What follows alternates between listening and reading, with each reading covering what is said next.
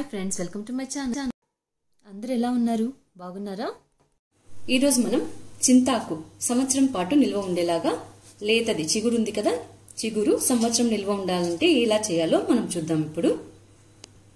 దీనికి కావాల్సిన పదార్థాలు చిగురు పసుపు ఉప్పు. అంతే ఈ మూడు ఉంటే చాలు.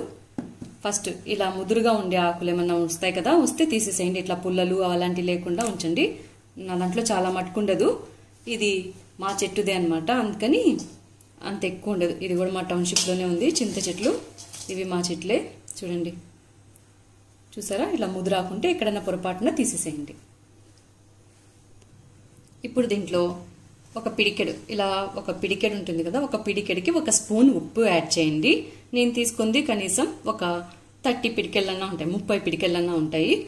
అందుకని నేను థర్టీ స్పూన్స్ యాడ్ చేస్తున్నాను. వన్ 2, 3, 4, 5, 6, 7, 8, 9, 10, 11, 13, 14, 15, 16, 17, 18, 19, 20, 21, 22, 23, 24, 25, 26, 27, 28, 29, 30. థర్టీ స్పూన్స్ యాడ్ చేశాను. ఇప్పుడు దీంట్లో మనం పసుపు కూడా యాడ్ చేయాలి కంపల్సరీ. ఒక టూ స్పూన్స్ పసుపు యాడ్ చేస్తున్నాను.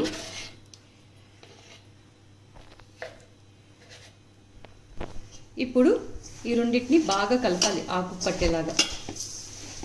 ఆకు పట్టేలాగా బాగా కలిపి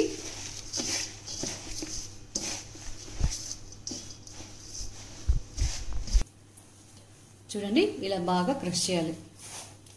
ఇలా క్రష్ చేసి బాగా ఉప్పు అంతా దీనికి పట్టేలాగా పెట్టుకోండి. చూడండి ఎంత ఫ్రెష్గా ఉందో. చెట్టాకైతే ఎంతో ఫ్రెష్గా ఉంటుంది.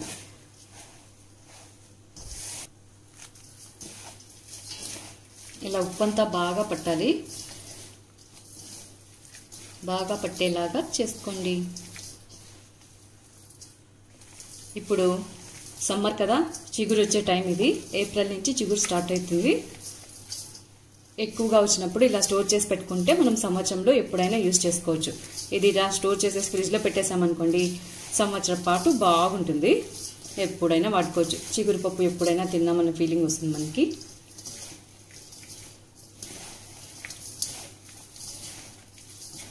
మీరు వంటల్లో చేసేటప్పుడు మాత్రం ఉప్పు ఉంటుంది కాబట్టి ఉప్పు తక్కువ వేసుకోవాలి మళ్ళీ. చూసుకొని వేసుకోవాలి. ఫస్ట్ వేయొద్దండి ఉప్పే సరిపోతుంది. మళ్ళీ కావాలంటే పప్పులో మళ్ళీ యాడ్ చేసుకోవచ్చు. ఒకవేళ తక్కువ అనిపిస్తే. ఒకటేసారి ఉప్పు మామూలుగా మన లెక్క ప్రకారం వేసుకోవద్దండి. దీంట్లో ఉప్పు ఉంటుంది కాబట్టి ఇది వేసినప్పుడు ఉప్పు వేయద్దు. చూసారా? ఇలా ఉప్పు బాగా పట్టాలి. ఇలా అడుగునున్నా కానీ మొత్తం దీనికి పట్టేలాగా ఒక్క నిమిషం ఉంటే అదే పట్టిపోతుంది. ఆ తేమ వస్తుంది కదా పులుపుదనం వల్ల తేమ వచ్చేసి ఉప్పుకి. చూడండి ఇలా బాగా కలుపుకుందాన్ని మనం ఇలా గాజు బాటిల్స్ ఉంటే గాజు బాటిల్లో స్టోర్ చేయండి బాగుంటుంది. స్టీల్ వాటిలో మాత్రం స్టోర్ చేయదండి పులుపు కదా పాడైపోతాయి. గాజు బాటిల్ ఉంటే గాజు బాటిల్ ఫస్ట్ ప్రిఫరెన్స్. సెకండ్ గాజు బాటిల్ లేకపోతే ప్లాస్టిక్ దాంట్లో స్టోర్ చేసి పెట్టుకోండి. చూడండి ఇలా ఫుల్గా పెట్టేసాం ఇప్పుడు నేను ఒక ప్లాస్టిక్ బాటిల్ తీసుకుంటున్నాను వన్ కేజ్ బాటిల్. దీంట్లో మిగతాది నింపేస్తున్నాను. ఇలా స్టోర్ చేసుకొని పెట్టుకోవడం వల్ల మనం సంవత్సరం మొత్తం చిగురుని ఎంజాయ్ చేయొచ్చు. అందరికి ఇష్టం ఉంటుంది కదా చిగురు అంటే? చిగురు పప్పు చిగురు పచ్చడి అందరికి ఇష్టమే కదా? ఇలా స్టోర్ చేసి పెట్టడం వల్ల సంవత్సరం మొత్తం తినచ్చు. ఎక్కువ రోజులు చిగురు రాదు.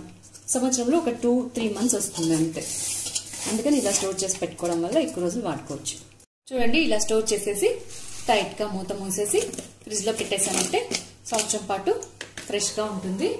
నేను మీకు ఆల్రెడీ నేను వన్ ఇయర్ బ్యాక్ స్టోర్ చేసింది చూపిస్తాను. చూడండి ఇలా గాజు బాటిల్స్లో పెట్టుకోవడం వల్ల ఎంత చూడండి ఎంత ఫ్రెష్గా ఉందో. కనిపిస్తుందా?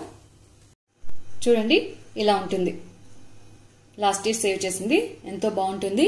మీరు ఇయర్ మొత్తం ఎంజాయ్ చేయండి. ఇలా చేసుకొని నా కొలతలతోటి దీని స్మెల్ అయితే అచ్చం చింతకాయ పచ్చడి వాసన ఉంటుంది కదా అలా ఉంది. ఎంతో బాగుంది వాసన చూసా అంటే. ఇలా స్టోర్ చేసి పెట్టేసుకోండి ఫ్రిడ్జ్లో. Please like comment subscribe and share my channel ఇలాంటి మంచి మరిన్ని వీడియోల కోసం నా ఛానల్ని సబ్స్క్రైబ్ చేసుకొని పక్కనే ఉన్న బెల్ ఐకాన్ని క్లిక్ చేయండి. ఇవి నా వీడియోస్ వెంటనే మీకు వచ్చేస్తాయి. Thanks for watching